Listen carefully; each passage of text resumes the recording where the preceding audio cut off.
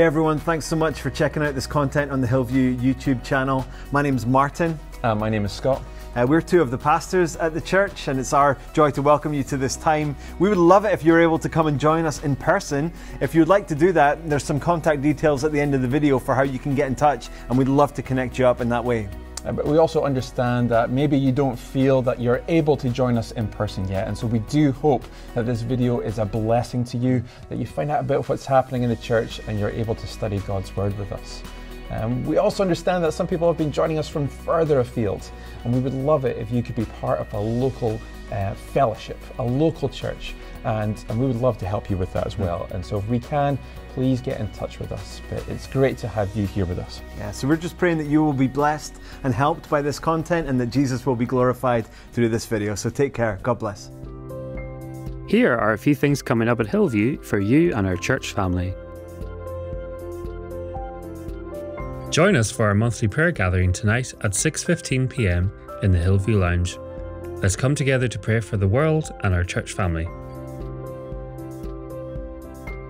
To keep up to date with what is happening at Hillview, please sign up for our weekly news at hillview.cc forward slash mailing list. There will be a feedback session on Wednesday the 13th of December at 7:30 p.m.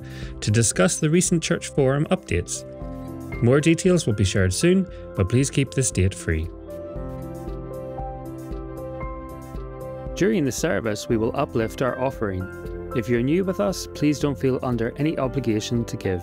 We're just so glad that you are here. If you did come prepared to give, there are several ways that you can do that. You can place your gift directly in the bowl as it comes down your row, you can give via bank transfer, or you can also give online at hillview.cc forward slash give. December is fast approaching, and we are excited to invite you to several services we have planned. Here are the details. The Children's Church will perform their Nativity service on Sunday, the 10th of December.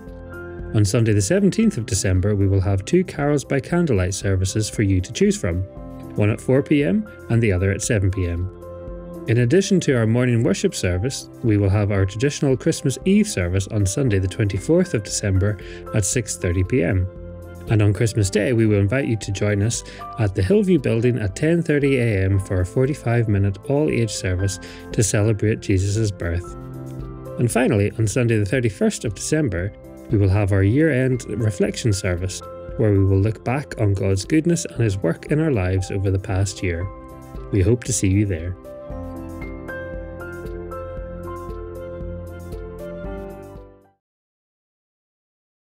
This is the last in our, our mini series about buildings. Um, Dan helped us think about buildings as time machines. Um, Scott talked about the use of our homes in fulfilling the church's mission. And last week, Martin shared about some of the, the shouldn'ts and shouldn't, the should do's and should nots of how we should think about church buildings. And, and so, with all that in mind, we're sitting here this morning in a, in a church building. Um, and I guess somehow or another, we've reached the conclusion that maintaining these buildings, which have been passed down to us from previous generations, is a good thing to do. That it's a good use of the resources that, that God has given to us. So, this morning, what I want to do is I want to try and provide a bit of a, a biblical framework for thinking about church buildings, and, and these buildings in particular. Um, this building we're sitting in was established and built, and, and first, uh, first people met in this 40 years ago. Uh, next year, 20, 1984, was founded. And an overarching question I've had in my mind as I've been kind of thinking about this stuff over the last week or so is how do we ensure that these buildings that we have express God's character and his purposes? And, and I guess as I've gone through this, I think this sermon will probably end up raising more questions than it does answer anything. Um, and if, if nothing else, this is about provoking a conversation about how we move forward from here. And I want to do that under four broad headings uh, this morning, just to help provide some a framework, I suppose, to, to hang our thoughts on. I want to think about making a name made known John prayed about God's name being made known. What does it mean to make God's name known? I want to then look at some of the things that we need to hold on to as we think about church buildings and our use of church buildings and how they should express something of God's character. And I think there are three things I've kind of come to. One is around a firm foundation. Every building needs a foundation. What are the functions of the church and how does a building help us fulfill those functions? And then I want to think about the future that's anticipated for the church in the very distant future. We don't know when that is going to be, but we know that at one point history will come to an end and the church will be united as New Jerusalem with God in heaven. So, to help us think through this, there's a number of passages I'm going to go to in the Bible. Um, so, it'd probably be really useful if you have a Bible in front of you as I kind of track through some of these things. And uh, Jacob's got the words that'll come up behind me as well. So, the first thing we'll think about is making a name known. I think all buildings, is fair to say, make a statement about something or someone.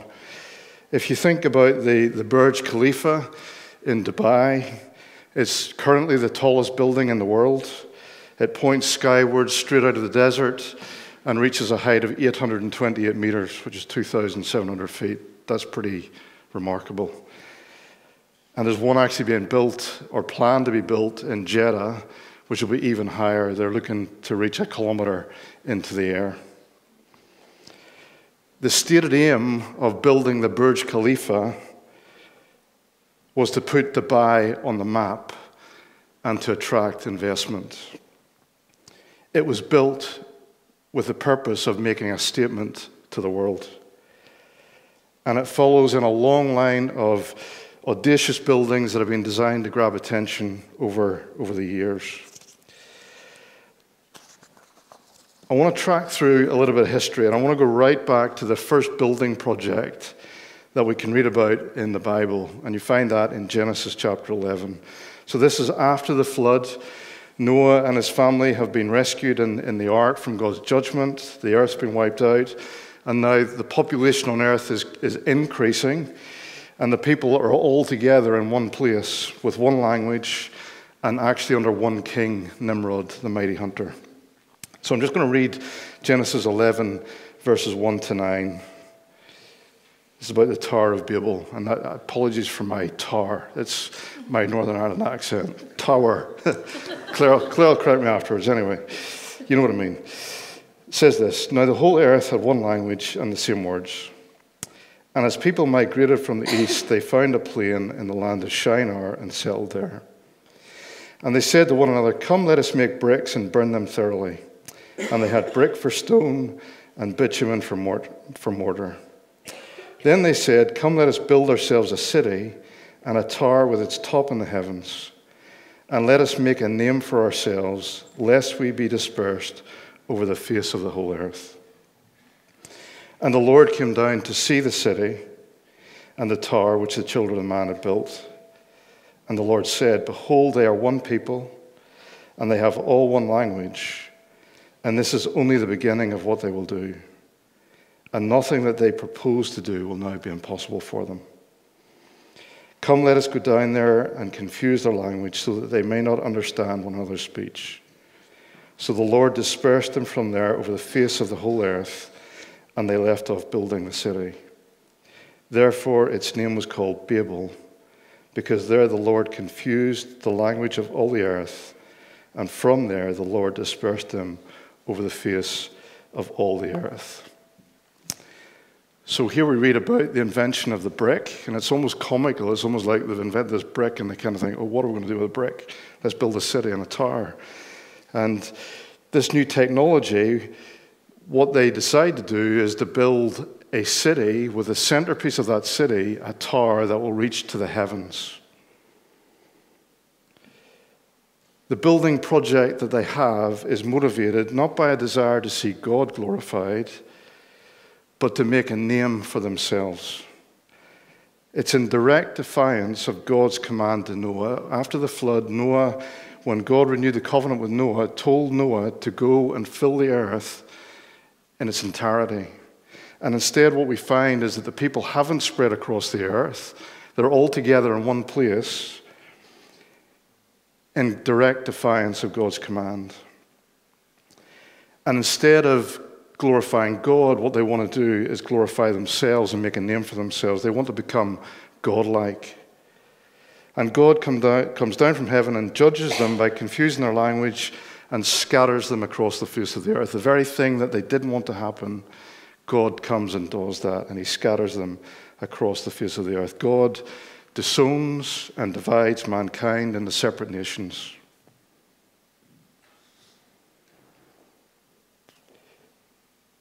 But at this point, it's all not lost. God will enact a rescue plan, and He does that by choosing a nation founded through Abraham.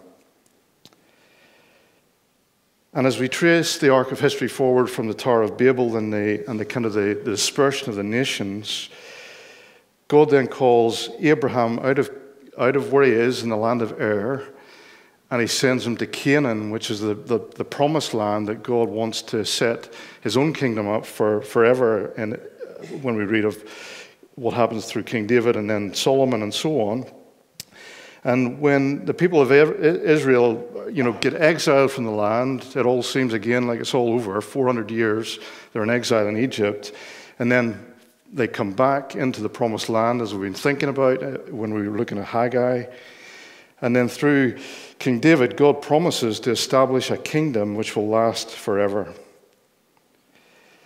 And at this point in Israel's history, when they have inherited the land, 480 years after they've returned from exile in Egypt, David has it in his mind to build a city, but also to build a house, a permanent dwelling place for God. And we can read about that project in 1 Kings and 2 Chronicles. And God says that it's not David to build that city, it's not, it's not David to build the temple, it's King Solomon, his son, who will build the temple in Jerusalem. And if we read 1 Chronicles uh, 22, uh, verses 1 to 11, it talks about the commission that, that David gives to Solomon to build this temple. Says, Then David said, Here shall be the house of the Lord God, and hence, and here the, the altar of burnt offering for Israel. David commanded to gather together the resident aliens who were in the land of Israel, and he set stone cutters to prepare dressed stones for building the house of God. David also provided great quantities of iron for nails for the doors of the gates and for clamps as well as bronze in quantities beyond weighing, and cedar timbers without numbers. For the Sidonians and Tyrians brought great quantities of cedar to David. For David said, Solomon, my son, is young and inexperienced, and the house that is to be built for the Lord must be exceedingly magnificent, of fame and glory throughout all lands. I will therefore make preparation for it. So David provided materials in great quantity before his death. Then he called for Solomon his son and charged him to build a house for the Lord, the God of Israel. David said to Solomon, My son, I had it in my heart to build a house to the name of the Lord my God. But the word of the Lord came to me, saying, You have shed much blood and have waged great wars. You shall not build a house to my name, because you have shed so much blood before me on the earth. Behold, a son shall be born to you shall, who shall be a man of rest. I will give him rest from all his surrounding enemies, for his name shall be Solomon. And I will give peace and quiet to Israel in his days. He shall build a house for my name. He shall be my son, and I will be his father, and I will establish his royal throne in Israel forever. Now, my son, the Lord be with you, so that you may succeed in building the house of the Lord your God, as he has spoken concerning you. This temple building in Jerusalem, in Israel, is also designed to make a statement to the world. But it carries a very different message to the message that was sent by the Tower of Babel. The primary purpose of this temple, and, and if you read through uh, the, the kind of the building of the temple and so on, repeatedly what you see is this requirement for the, for the primary purpose of the temple to, to declare the name of the Lord, to make the name of the Lord known. And this building is to be exceedingly magnificent, of fame and glory throughout all lands. This building is to communicate God's glory and his renown. If we kind of track forward in history, Solomon's temple was then destroyed when Jerusalem fell to the Babylonians. And as we're studying in, in Haggai, that temple was eventually rebuilt in 516 BC. And then in 70 AD, the Roman general Titus besieged Jerusalem. And in the destruction of Jerusalem, the temple, the second temple, Solomon's, uh, the second temple was, was, was rebuilt, was completely destroyed. And that was just as Jesus had foretold in Matthew 24. It says this Jesus left the temple and was going away. When his disciples came to point out to him the buildings of the temple, but he answered them, You see all these, do you not? Truly I say to you, there will not be left here one stone upon another that, not, that will not be thrown down. God's people, the church, don't need a temple building to gain access to God. When Jesus died on the cross, when you read the gospel accounts, the veil which separated the Holy of Holies, the dwelling place of God, from the outer courts of the temple, that separated his people from himself, was torn in two. Once and for all, Christ's, dead, Christ's death on the cross made atonement for our sins, and once and for all took away the barrier that exists between man and God. And as Martin emphasized last week repeatedly, the church is not a building, and the building is not a church. Early Christians, when they were scattered from Jerusalem because of the persecution across the Roman world, met in one another's homes.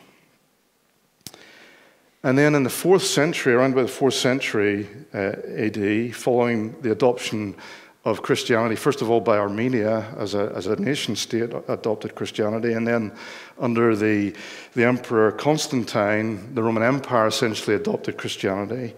What we find is that the church starts to build buildings to worship in. And that has continued right the whole way down from the fourth century to today. And as I said, this building that we are in this morning was opened 40 years ago. It seems that wherever the church is established around the world, buildings soon follow. Why is that? Church buildings make a statement to the world. You can't hide a building. What they do is they announce the presence of a community of God's people. And the question is this whose name do they seek to glorify and bring attention to? So I think we do need to be always mindful that the, the church is not a building. But we can use buildings to say something to the world about who God is and what his purposes are. And we need to do that in the context of a way that brings glory and honor to God's name and not to our name. Because we need to be careful that our, church buildings don't become Towers of Babel or modern day or the modern day equivalent. So, with that in mind, how do we then ensure that our church buildings are a visible expression of God's character and purposes and do not become a way of drawing attention to ourselves? And I think there are three things I want to, to move on to. One is firm foundation. Second, the functions fulfilled. And the third, a future anticipated, just to help us think about these things. First of all, a firm foundation. I think we all know that any building is only as strong as the foundation on which it rests and continues to rest. The ability of that building to serve the purpose for which it was established requires the foundation for that for the foundation of that building to remain intact. And if a church, and I'm now talking about the people who make up the church, make up the body, don't build on the right foundation, or if we end up mixing the foundation with impurities, those foundations will ultimately crumble and fail. And what happens on the inside that's not visible will soon become visible and apparent. You only have to walk down Union Street in Aberdeen to see what happens to churches, church buildings, and the people who once gathered there, who have in some way tampered with the foundations on which those buildings were established. Buildings which once resounded to the singing of God's praises, like we've been doing this morning, are now dancing to a radically different beat and a destructive tune as nightclubs and casinos. Dan was right to speak about church buildings being time machines. And for those time machines to uncompromisingly hold on to the gospel to ensure that they exist for a long time into the future. In order for that to happen, it starts with getting the foundations right and keeping the foundations right. The fledgling church in Corinth was in danger of blowing itself apart because of divisions over who they should follow. Paul wrote his first letter to them, recognizing that what was playing out at a surface level in the divisions within the church was actually a deep rooted problem with the foundations.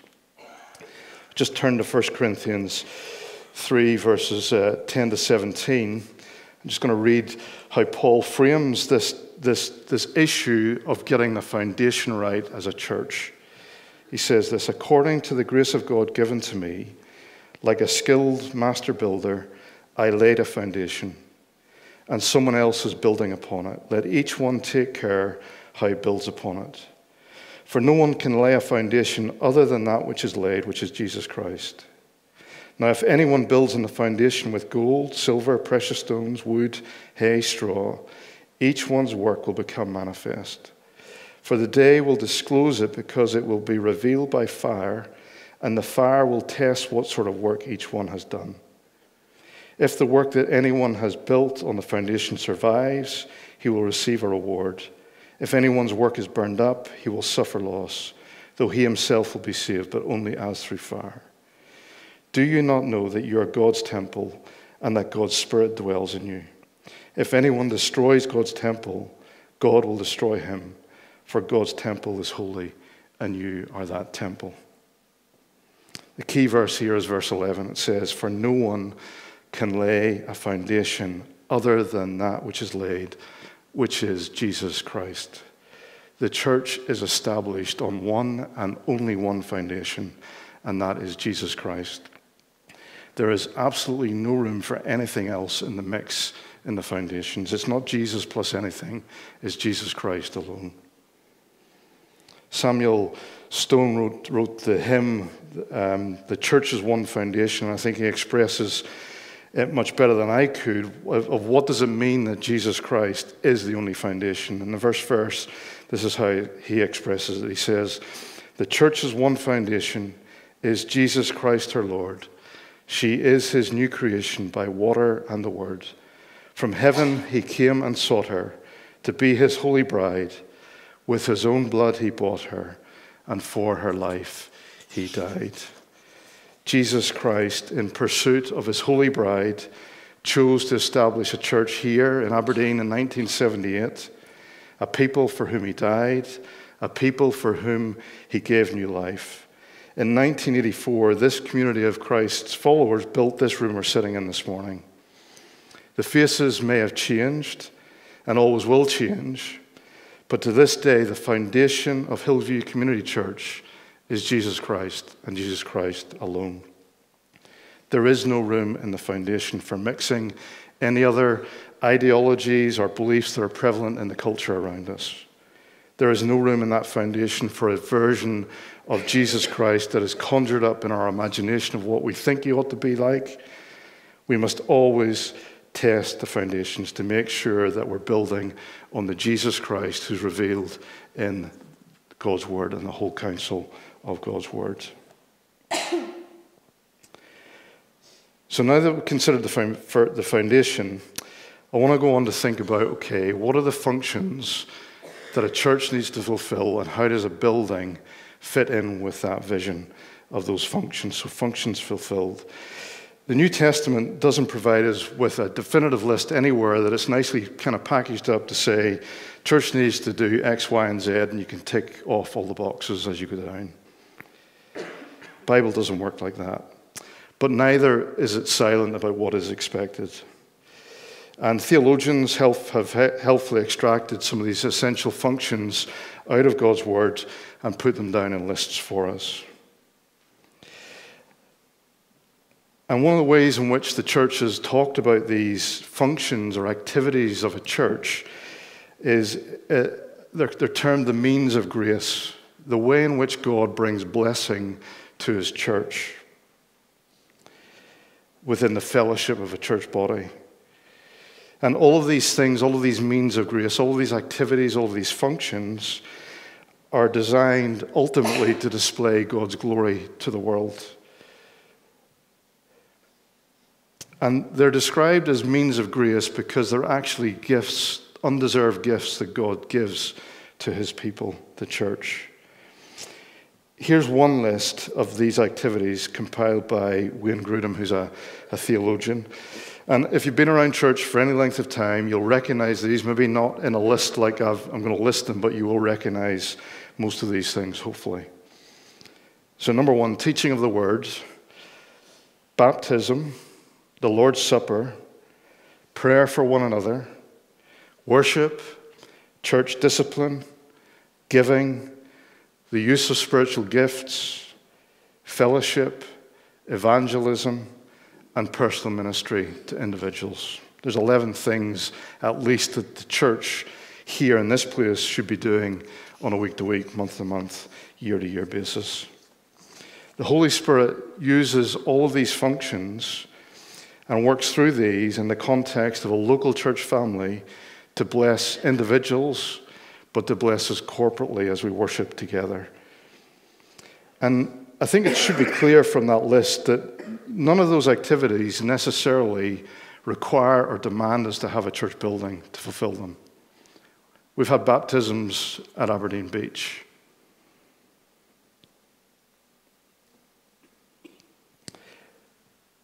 But it is true to say, I think, that several of those activities are only done in the context of people gathering together in one place at one time. Like we're doing here this morning, like a baptism, like sharing the Lord's Supper with one another, like praying for one another corporately. We do that collectively together in one place at one time. So, in that context, having a building where we can go to to fulfill those functions can be a helpful thing. And I'm just going to pick up four of these activities or functions that benefit from having a building to fulfill them. And just to consider them this morning, just as I, again, these are just starters for conversations as you go away and think about this and pray about this. What does this mean for, for us as a church together? I'm just going to pick up on four of those. That's not to exhaust the list. So, first of all, teaching of the word, the primary means of grace that God uses to bring people to salvation and also then thereafter to build and equip his church is the word of God. Jesus himself quoted scripture when he was tempted. He said this Man shall not live by bread alone, but by every word that comes from the mouth of God. And Jesus, we also find, find in Luke's gospel that he used to go regularly to the synagogue on the Sabbath to hear God's word read and taught. In Luke 4:16 it says, "And he came to Nazareth, where he had been brought up, and as was his custom, he went to the synagogue on the Sabbath day, and he stood up to read."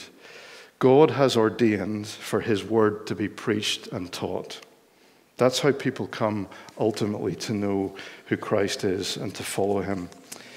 In 2 Timothy 2, which, which Dan uh, shared from, Paul gives a charge to Timothy. He says in, in 2 Timothy uh, 3, uh, verse 14, it, I'm just going to read a few verses. It says this But as for you, continue in what you've learned and have firmly believed, knowing from whom you learned it, and how from childhood you've been acquainted with the sacred writings, which are able to make you wise for salvation through faith in Christ Jesus. All scripture is breathed out by God and profitable for teaching, for reproof, for, for correction, and for training in righteousness, that the, man, that the man of God may be complete, equipped for every good work. I charge you in the presence of God and of Christ Jesus, who is to judge the living and the dead, and by his appearing in his kingdom, preach the word, be ready in season and out of season, reprove, rebuke, and exhort with complete patience and teaching. Every Sunday morning, we gather together, and churches all around the globe gather together to spend part of their time preaching the Word of God. And even this morning, as we're in here, the children are through in classrooms being taught the Word of God. And through the week, we don't necessarily meet in this building, but we meet in homes to be taught and hear from the Word of God in small groups. This is no accident. Baked into the design of these buildings is the provision for God's Word to be taught. We have this room, we have the classrooms. At one time, when IBC, International Baptist Church, was established, there was Sunday school, which was adult Sunday school, which is why the building looks the way it does, primarily because of the, the classes. And then on a Tuesday morning, if you come here, the Ladies Bible Study Fellowship are scattered through this building being taught in classes. The question that we have today is how should we take these rooms and how do we make them much more effective as a means of teaching God's Word? So that's the first thing. Second thing is worship. Down through the centuries, God's people have gathered together with worship through, through singing. And when we gather together in one place and raise our voices in unison in songs of praise, that's a way in which God can draw near to us as a fellowship. If, we go, if I just go back to Solomon's temple, when the temple was finished, Solomon assembled the nation of Israel together as they brought the Ark of the Covenant into the sanctuary.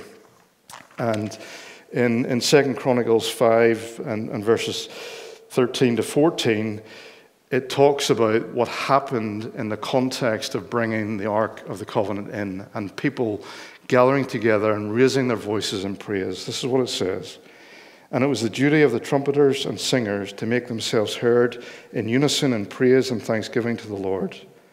And when the song was raised with trumpeters and cymbals and other musical instruments in praise to the Lord, for he is good, for his steadfast love endures forever, the house, the house of the Lord, was filled with a cloud, so that the priests could not stand to minister because of the cloud, for the glory of the Lord filled the house of God.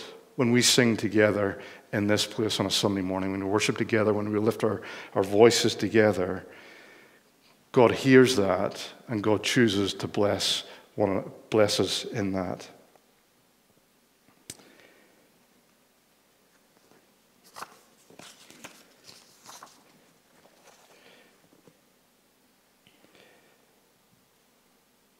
I think the other thing about a church sanctuary, a place like this, a space like this, it should also enable us and lead us into a way of worshiping God. Not only in the way in which we sing together, in the, in the way that we're kind of together in, in, the, in, the, in the rows and so on, but I think even on the things that we have on the walls. So these splendor, majesty, strength, and beauty, all of these things are there to remind us of who we're here to worship and what He's like. So that's worship. Thirdly, fellowship. The church, the bride of Christ, is described in numerous ways throughout the New Testament as a body, as a living temple. In other words, the church isn't made up of individuals. Each individual is connected to one another. We're all united in Christ by our salvation that we found in Him. And as Christians, we're not supposed to be isolated and disconnected from our brothers and sisters in Christ. It is vitally important to be in fellowship with other Christians on an ongoing basis. And when you read about the early church in Acts, one of the distinctive marks of the early church was that they devoted themselves to the apostles' teaching and the fellowship to the breaking of bread and prayers. God's people gathered together in fellowship. And the writer of Hebrews was careful to point out this warning.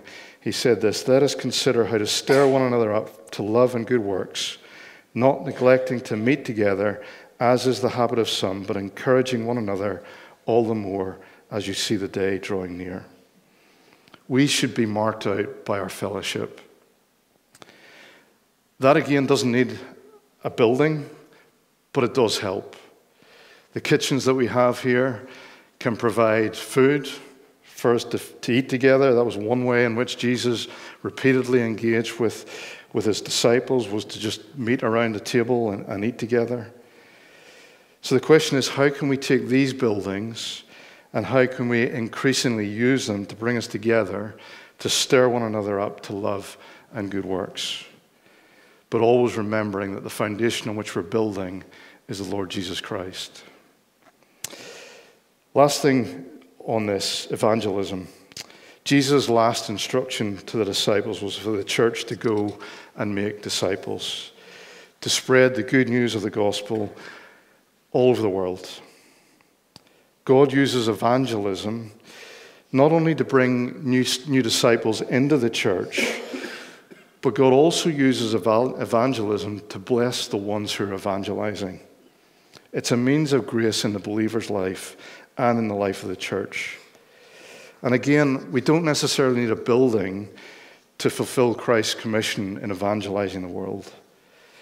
But given that God has provided us with these buildings, we have to ask ourselves how should we be using them to spread the gospel more effectively? And this goes way beyond just providing short term lets to the community. I want to ask a question I want to think about this morning is how are we doing as a church, even in those four areas that I've touched upon?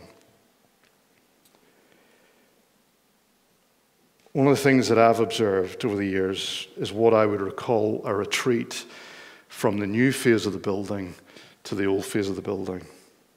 Increasingly, our church activities and functions seem to be increasingly focused in this part of the building and less in the new part of the building. The question is have we got the balance right? Is there more that we could and should be doing with the space, all of the space that we have in this place? There are breakfast clubs and after school clubs that meet in the gym across there. Those are provided by the community, not by this church. What if we as a church were the ones that could actually provide a breakfast club or a children's club after school and do that in Christ's name instead? What difference would that make? That's just one example. With all of the functions that define what it means to be a church established on the foundation of Jesus Christ, we have a responsibility to take the buildings that God has given to us and to use them for His glory. I think the question is, you know, if we can't do that, then we should give the buildings up. Back in 2010, this church, uh, International Baptist Church, as was known then, went through a really difficult season. And that difficult, God was gracious in that because ultimately Hillview Community Church was established out of that difficulty. But I remember one night after an elders meeting, myself and Colin Ross sat in the car park out there. And we actually did consider is it time just to get rid of these buildings? Are they becoming a noose around our necks, so to speak, and preventing us as a church moving forward? I think if we're unable as a church to make the best use of these buildings for God's glory, then we do need to ask ourselves what's the point in holding on to them? Or at least if they're not serving the purposes for which, the, the, for which we believe we're called to fulfill the vision, then we should start to reshape them for the future and for what we need to provide here to continue God's work in this place. Buildings are fundamentally shaped by the function that they need to fulfill. If you think about your homes, you have rooms to eat in, you have rooms to cook in, you have rooms to sleep in.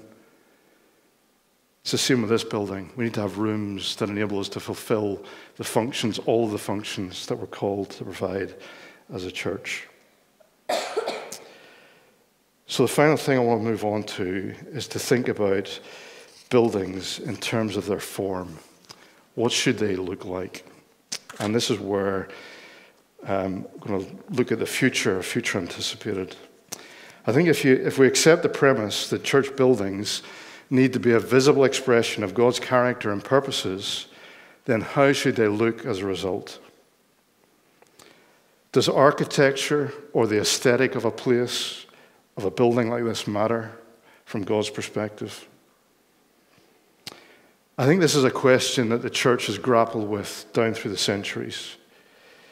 If you visit the cathedrals, not only in this nation, but if you go to the cathedrals in Europe, what you see is that, is that the church at times have taken architecture really seriously. If you ever get the chance to go and visit King's Chapel, for example, King's College Chapel in Cambridge, you can't help when you walk into that building to look upwards to the ceiling. The graceful lines of the pillars draw your attention to upwards, heavenwards, to the vaulted ceiling. And if the sun is shining through any one of the sides of that building, then what you'll find yourself is engulfed in a kaleidoscope of primary colors as the sunlight is scattered through the stained glass windows.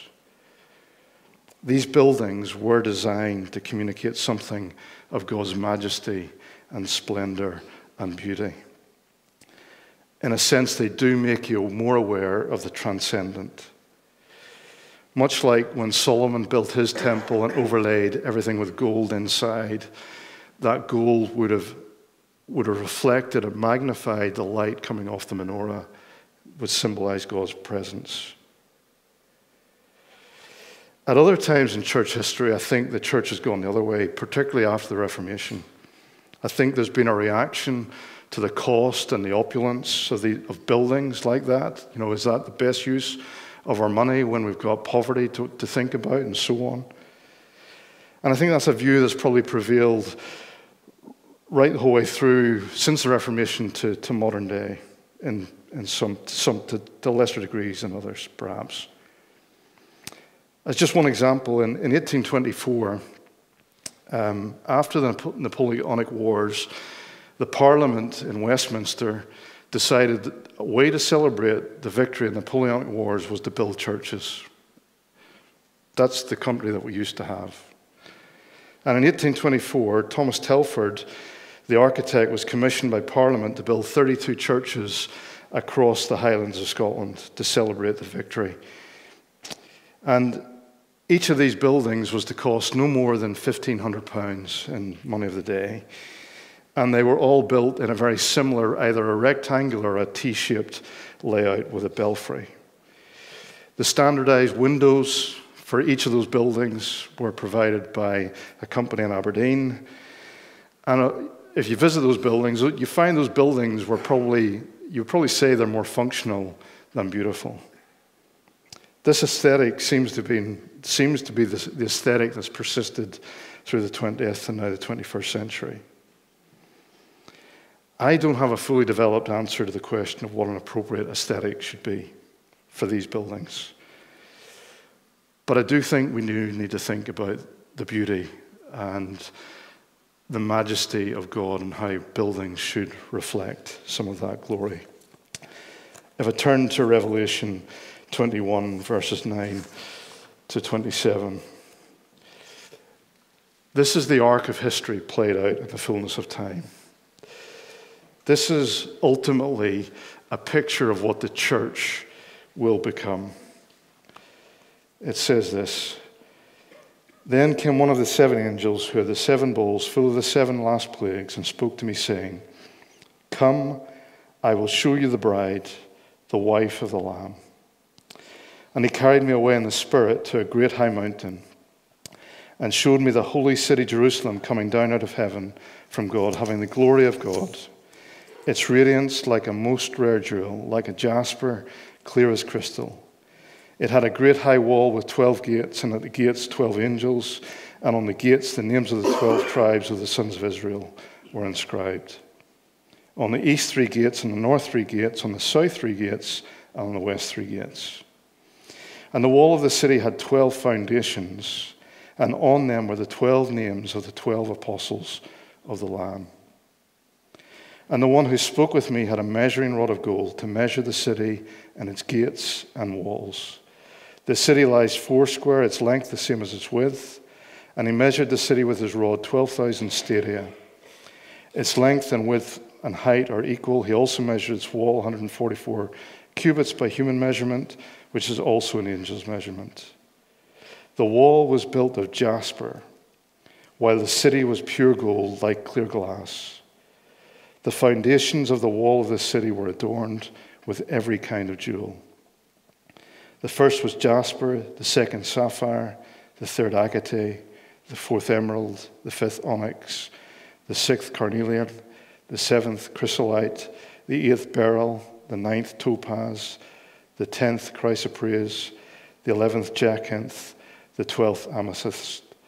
And the twelve gates were twelve pearls, each of the gates made of a single pearl, and the street of the city was pure gold, like transparent glass. And I saw no temple in the city, for its temple is the Lord God the Almighty and the Lamb. And the city has no need of sun or moon to shine on it, for the glory of God gives it its light, and its lamp is the Lamb. By its light will the nations walk, and the kings of the earth will bring their glory into it. And its gates will never be shut by day, and there will be no night there. They will bring into it the glory and honor of the nations, but nothing unclean will ever enter it, nor anyone who does what is detestable or false, but only those who are written in the Lamb's book of life. In this passage in Revelation, the church, that's you and me and the church down through the centuries, is described as a city. This bride for the Lamb, this New Jerusalem, is a place where God and man will dwell together. And this bride, this city, is radiant because it has God's glory. It's a city that's built in the shape of a perfect cube. It's adorned with jewels, and nothing unclean can be found in it or will ever enter it. If you look around at what God has created on this earth, the landscapes, all of the creatures, men, women, children. Or if you look at the night sky, it can't escape your attention how beautiful God makes things. The stunning majesty we're surrounded with reflects God's glory and his character.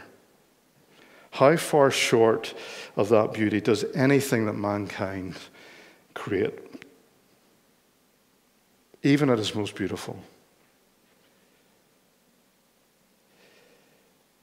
And we seem to be particularly bad when it comes to buildings, of creating some of the most hideous things to look at. This is what G.K. Chesterton had to say about architecture. Architecture is the most practical and dangerous of the arts. All the other arts we have to live with. There are things we have to live with and some have even said, with regard, of some, with regard to some kind of music and paintings, they are things that we could live without. But architecture is not a thing that we only have to live with, it is a thing we have to live in. We live with it as Jonah lived with a whale. Jonah couldn't see the monster, and there's a great deal to be said for living in the most hideous house because you can't see, you can see in the landscape, because that's the one place that you will be unable to see it.